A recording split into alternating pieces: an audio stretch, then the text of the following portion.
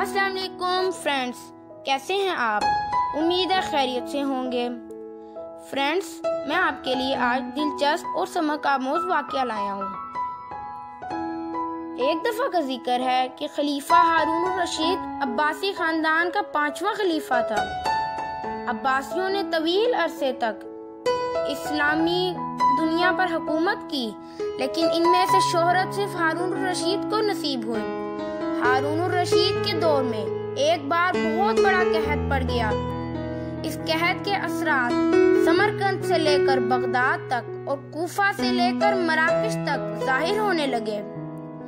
दोस्तों हारून रशीद ने इस कहत से निमटने के लिए तमाम तदबीरें आजमा ली।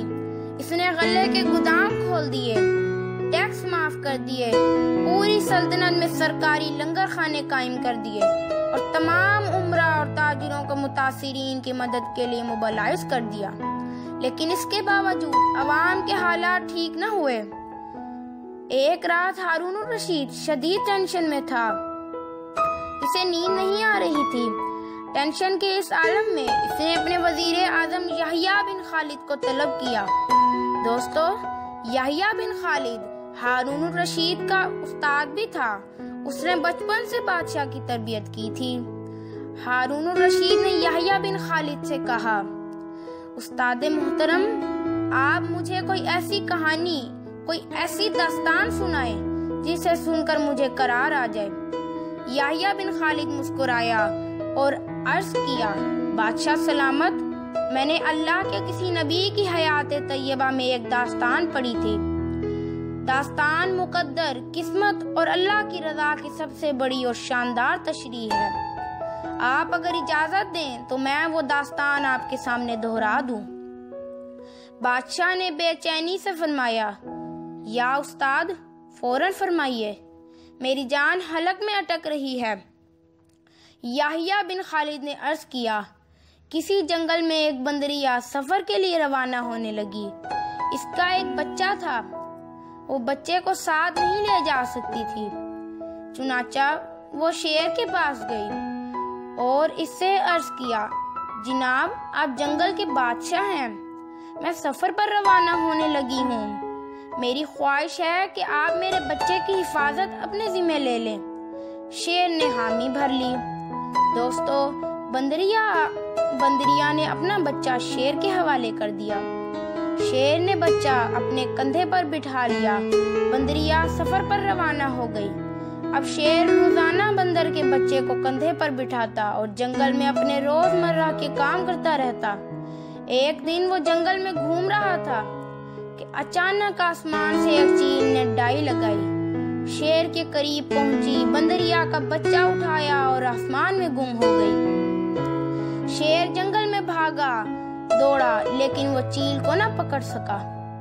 याहिया बिन खालिद रुका, उसने सांस लिया और खलीफा हारून रशीद से अर्ज़ किया, बादशाह सलामत, चंद दिन बाद बंदरिया वापस आई और शेर से अपने बच्चे का मुतालबा कर दिया। शेर ने शर्मिंदगी से जवाब दिया, तुम्हारा बच्चा तो चील ले गई है। बंदरिया को गुस्सा आ गया और इसने चिल्ला कर कहा, तुम कैसे बादशाह हो? तुम एक अमानत की हिफाजत नहीं कर सके। तुम इस सारे जंगल का निज़ाम कैसे चलाओगे? शेर ने अफसोस से सर हिलाया और बोला, मैं ज़मीन का बादशाह हूँ। अगर ज़मीन से कोई आफत तुम्हारे बच्चे की तरफ़ बढ़ती तो मैं उसे रोक लेता। लेकिन ये आफत आसमान से उतरी थी और आसमान की आफतें सिर्फ़ और सिर्फ़ आसमान वाला रोक सकता है। दोस्तों, ये कहानी सुनाने के बाद याहिया बिन खालिद ने हारून रशीद से अर्ज़ किया, बादशाह सलामत कहत की ये आफत भी अगर ज़मीन से निकली होती तो आप इसे रोक लेते। ये आसमान का अजाब है। इसे सिर्फ़ अल्लाह ताला रोक सकता है। चुनाचे आप इसे रुकवाने के लिए बादशाह न बने, फकीर बने। ये आफत रुक जाएगी। दुनिया में आफतें दो किस्म की होती हैं। आसमानी मुसीबतें और ज़मीनी आफतें। आसमानी आफत से बचने के लिए अल्लाह ताला का राज़ी होना ज़रूरी होता है। जबकि ज़मीनी आफत से बचाव के लिए इंसानों का मुतहद होना, वसाइल का भरपूर इस्तेमाल और हुक्मरानों का अखलास दरकार होता है।